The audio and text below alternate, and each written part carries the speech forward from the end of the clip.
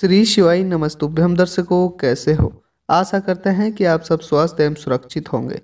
दोस्तों, सप्ताह का हर दिन हमारे जीवन में बहुत महत्व डालता है।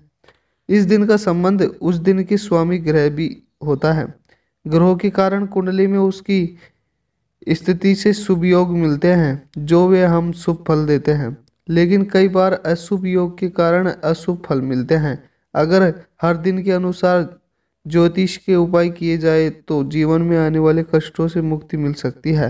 हर व्यक्ति ज़िंदगी में सुखी सुविधाओं से आनंद चाहता है। चाहे इसके लिए दिन, रात मेहनत ही क्यों न करनी पड़े। ज्योतिष शास्त्रों की माने तो कुछ उपाय की मदद से व्यक्ति अपने जीवन की सभी समस्याओं को दूर कर सकता है, नष्ट कर सकता है। बार बार असफलता मिलने पर भी यह अचूक उपाय अपना सकता है। आइए दोस्तों आज हम आप लोगों को इस वीडियो के माध्यम से बताने वाले हैं कि आप लोगों को रविवार के दिन ऐसा कौन सा ज्योतिषीय कार्य करना है, जो कि हमारे गुरुदेव के द्वारा बताया गया है।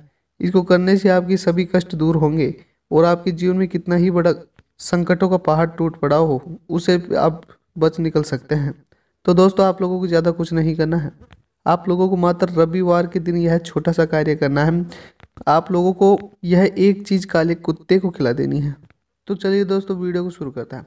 दोस्तों, आप लोगों को रविवार के दिन आप लोगों को यह छोटा सा कार्य करना है। आप लोग जब आप खाना बनाए तो आप लोगों को उस आटे में, अपने आटा जो भी आप अपने खाने के लिए आटा बनाओगे तो आप लोगों को आटे के अंदर काली मिर्च या फिर आप लोगों को चावल के दाने आटे के अंदर डाल देने हैं।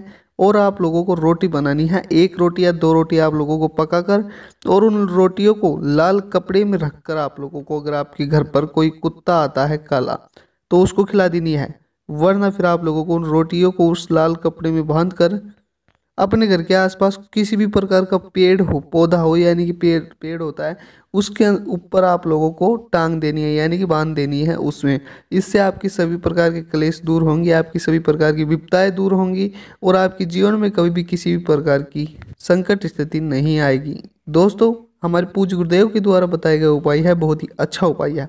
अगर इसे आप करते हो तो यकीनन आपको फ़ायदा ही प्राप्त होगा। दोस्तों, वीडियो अच्छी लगी हो तो वीडियो को लाइक करें, चैनल को सब्सक्राइब।